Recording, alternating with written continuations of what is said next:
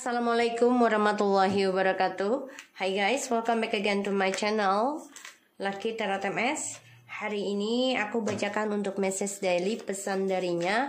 Insya Allah ini bisa mengambil di bawah alam sadarnya dia. Please don't forget to subscribe, likes, and comments channel aku. Insya Allah ini bisa membawa energi positif ya untuk kita semua termasuk untuk dia dan selalu berpikiran positif, niat baik dan pastinya diiringi dengan doa ya. Bismillahirrahmanirrahim. Alhamdulillahirrahmanirrahim.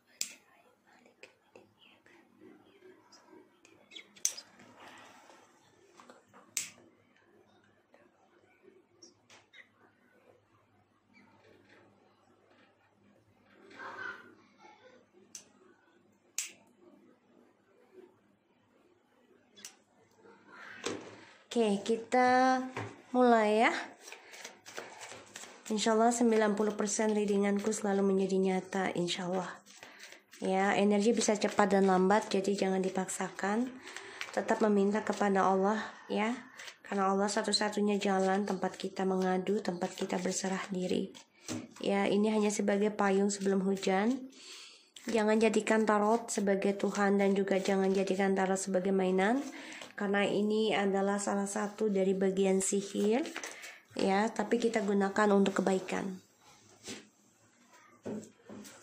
Ya terutama untuk percintaan.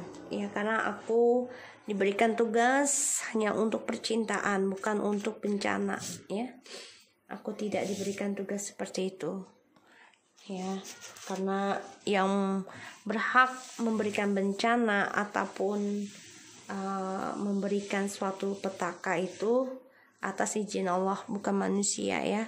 Dan aku tidak diizinkan untuk memberikan kekhawatiran kepada manusia terutama dengan alam. Oke? Okay? Bismillahirrahmanirrahim. Tapi kalau untuk percintaan insya Allah aku bisa bantu. Karena aku orangnya tipikal penuh cinta ya.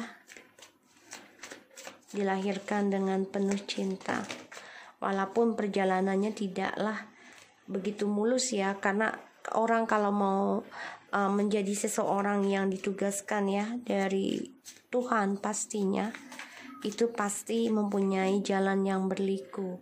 Jadi jangan pernah marah, jangan pernah berprasangka buruk terhadap Allah dari perjalanan hidup kita ya yang penuh liku. Apalagi kalau kita sebagai orang muslim, jadi perbanyak doa aja ya karena Allah memberikan kita suatu kesulitan itu ada suatu maksud, ada suatu alasan yang terbaik buat kita semua, diri kita sendiri pastinya. Menjadi yang lebih berguna lagi kah atau tidak? Ya, semua tergantung dari pribadinya kalian masing-masing aja.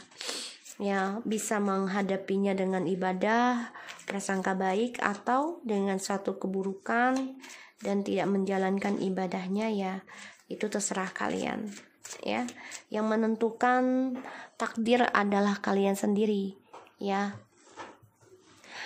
Karena perbuatan itu dari diri kita sendiri niatnya dari kita sendiri karena Allah menciptakan kita itu dengan sangat baik dan sempurna ya. Tidak ada yang kekurangan. Jadi berpikirlah positif selalu ya kalau takdir kematian itu nggak bisa diganggu gugat. Tapi kalau takdir rezeki takdir kesehatan takdir jodoh itu bisa kita rubah. Yaitu dengan doa. Kalian mau rubah dengan baik atau rubah dengan buruk begitupun jodohnya sama. Kalau kalian rubah dengan keburukan otomatis jodohnya akan buruk gitu ya. Kalau kalian rubah dengan kebaikan insya Allah akan mendapat jodoh yang lebih baik. Oke. Okay. Alright, di sini aku lihat I know sayang all this is wrong. Slowly will fix it all okay? I head away from you. I just not ready now. Jadi dia memang sedang bersembunyi ya saat ini karena perasaan dia yang sangat dalam ke kita. Kenapa? Karena dia merasa salah ya apa yang dia lakukan sini banyak banget kesalahan dan dia ingin memperbaiki perlahan demi perlahan dan dia benci jauh dari kita tapi memang saat ini dia belum siap ya so kita lihat di sini don't push me to love you again. I always want to talk to you, but our situation is really crap. Thank you to forgiveness me, still love me after I've been hurting you until now. I know I'm addicted to you. Let's see what will happen next between us. Honestly, I don't love her or him as I do love you so dearly. My love's so lonely since you go. I feel sad to talk about divorce. I had bad dream last night about our situation. I worried my losing you forever and I hate it. Iya, dia sudah merasakan sebenarnya ya kalau kita ini sudah meninggalkan dia dan dia merasa kehilangan. Dan dia nggak mau ini namanya dipaksa untuk mencintai kita. Karena tanpa dia sadari dia tuh ketergantungan dengan kita dan dia coba untuk menutupi perasaannya. Ya. I always hiding from you that's all. Dia nggak mau akui kalau dia tuh butuh kita tapi semakin dia jauh dari kita, semakin dia menjauhi kita, semakin dia sebenarnya membutuhkan kita. Ya, my love so lonely since you go. Jadi dia mau lihat aja sampai kapan waktu ini akan memberikan kita pertemuan kembali itu harapannya dia. Dan ya dia pengen banget membicarakan ini dengan kamu. Tapi memang situasinya yang nggak nggak nggak memastikan tidak mendukung ya karena situasinya dia sedang tidak baik. Dan dia menjujuri kalau dia nggak mencintai eh, laki-laki uh, ataupun perempuan tersebut ya sedalam dia mencintai kita. Dan dia memimpikan buruk tentang hubungan kita ya dia dan kita. Ini membuat dia khawatir. Pastinya dia kehilangan kita untuk selamanya. Ya maka dia menunggu waktu yang tepat. Selama kita tidak mendorong dia untuk mencintai kita dia makin menyadari kalau dia tuh butuh kita ya. Karena DM ya DM dan karmik itu kan orangnya selalu ingin dikejar dan mengejar.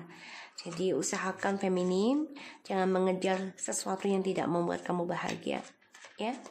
So kita lihat Don't push me to love you again.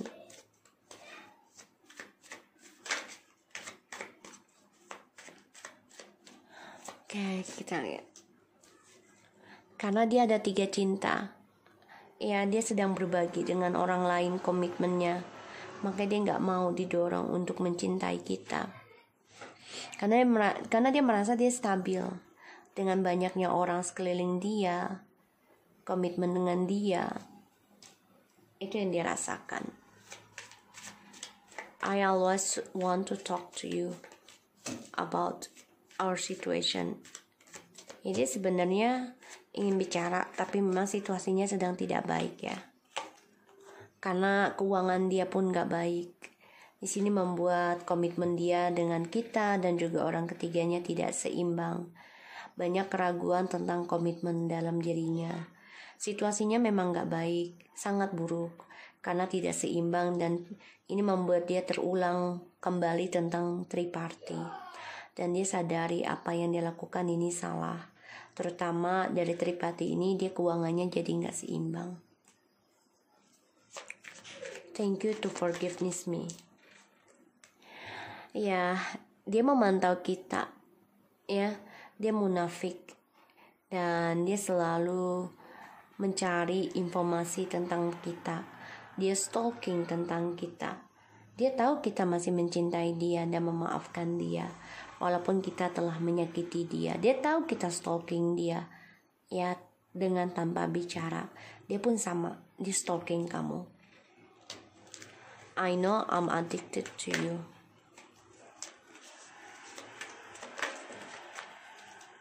Ya, berat sekali bagi dia dan dia merasa tertekan lelah ya dengan adanya triparty. Dan dia merasa memang beban banget kalau tanpa kita. Dan dia baru menyadari kalau kita ini membuat dia merasa ringan kehidupannya dia. Sekarang dia merasa kesulitan ya dengan perasaan dia ke kita yang telah uh, kita tinggalkan hubungan ini. Let's see what will happen next between us. Ya dia pengen lihat ke masa depan menunggu waktu yang tepat untuk meraih uh, kesuksesan kembali bersama kita. Ya dia sudah memegang dunia tapi dia hanya menunggu waktu yang tepat. Ya. Honestly I don't love her or him as I do love you so dearly.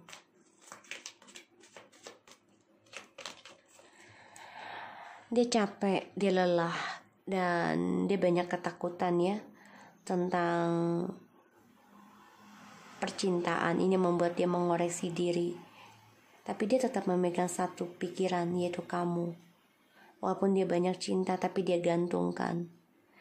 Walaupun dia tidur dia masih memandang foto kamu, memikirkan kamu. Dia coba untuk mengoreksi diri tentang perasaannya dia ke kamu dan orang lain. My love so lonely since you go.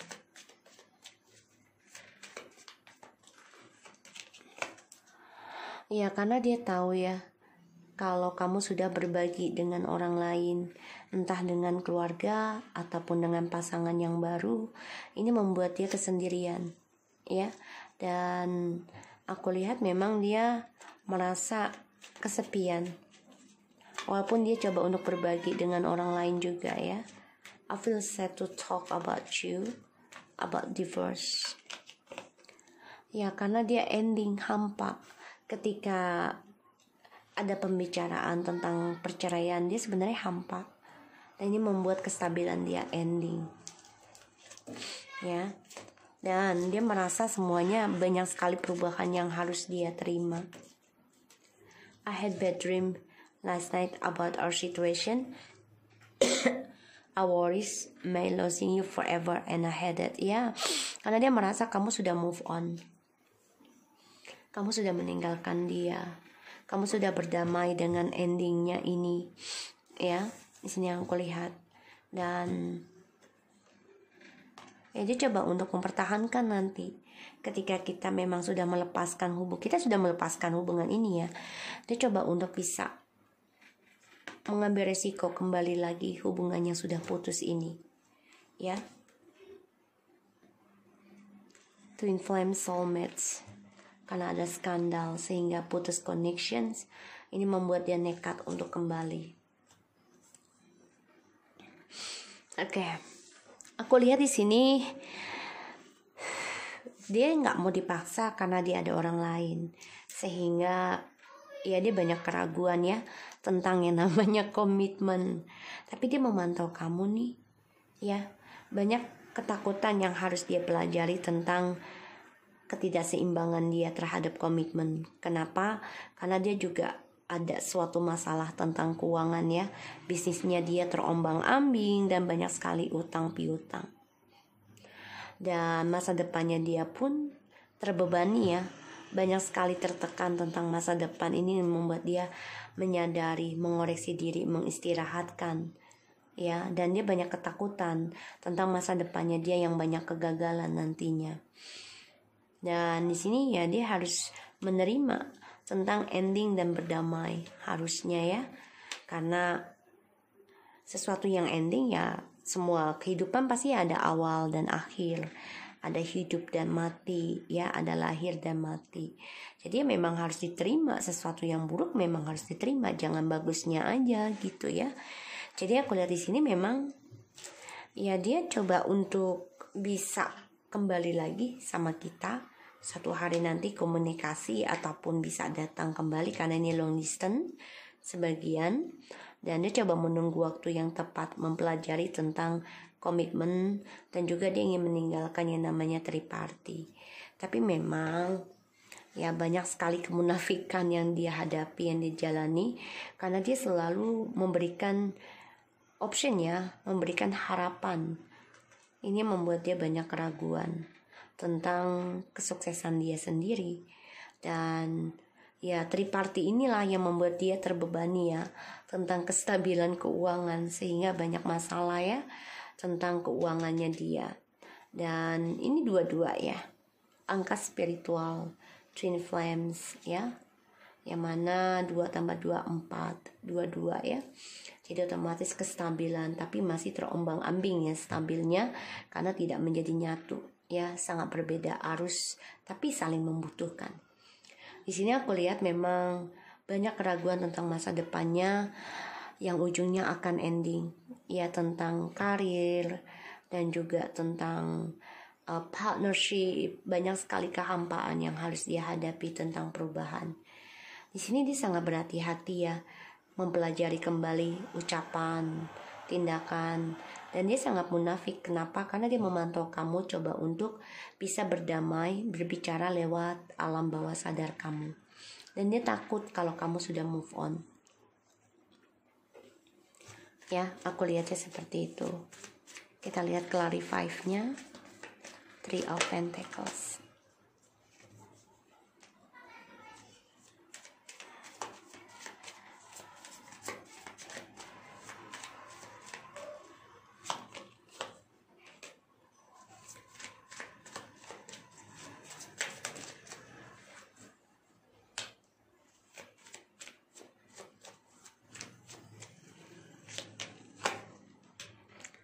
Oh, banyak sekali kegagalan ya dalam kehidupan dia. Tidak sesuai harapan. Karena dia energinya selalu bermain.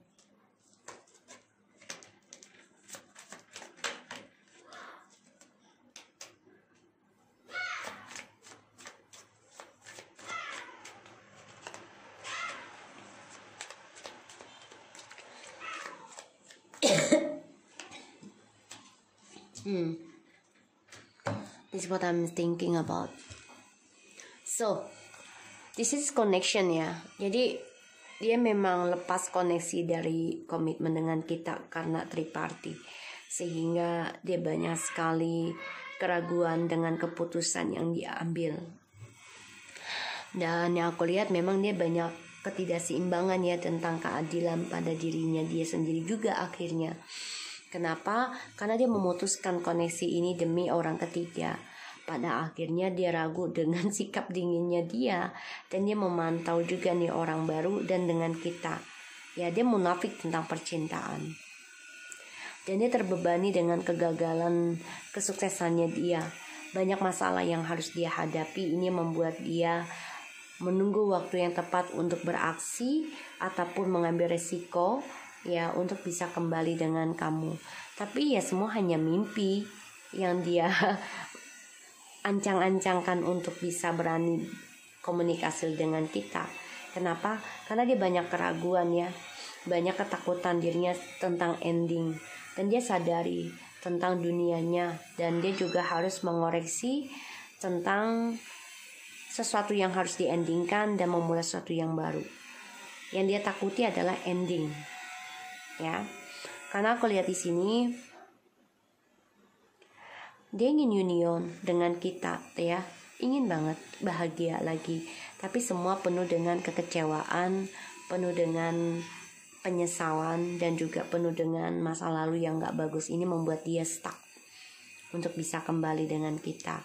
Dan aku lihat memang terlepas dari koneksinya dengan kita di sinilah yang membuat dia ya menyesal dengan perbuatannya dia tentang petualangan dia sendiri, keberanian dia tentang uh, hawa nafsunya, ya karena dia selalu nekat.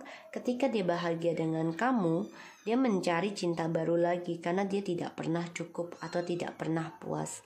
Pada akhirnya, ketika sudah lepas dari kita, dia banyak kegagalannya untuk bisa bahagia ataupun menikah lagi. Walaupun sudah menikah, tapi tidak ada bahagia dengan pasangan tripartinya di sini. Dia merasa tidak ada koneksi. Jadi yang aku lihat sih seperti itu ya. Dia akan ngambil keputusan nih untuk bisa kembali tapi nekat. Walaupun dia dengan sikap dingin tapi ya. Tapi ya gitu energinya datang dan pergi. Dan dia sama orang baru pun ending ya merasa hampa, banyak kekecewaan, penyesalan di sini, kesedihan dan banyak kekacauan ya tentang kesuksesannya dia dengan orang baru. Iya, karena dia masa uh, banyak sekali rahasia yang akan terungkap ya tentang pengkhianatannya orang baru ini yang membuat dia merasa terikat ya semua hanya karena keuangan. Dan dia harus mempertanggungjawabkan semua dengan orang barunya. Ya dan akan ada suatu kejelasan pengkhianatan ini dari orang baru. Ya. Oke. Okay. so aku harap ini bisa resonate buat kita semua. Jangan lupa di subscribe di like and di comments channel aku Lucky Torot MSN take care of you